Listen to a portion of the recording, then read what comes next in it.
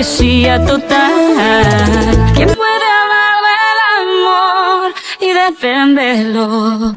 ¿Quién levante la mano, por favor? ¿Quién puede hablar del dolor? Pagar la fianza, para que salga de mi corazón. Si alguien va a hablar del amor, te lo aseguro. Esa no voy a ser yo.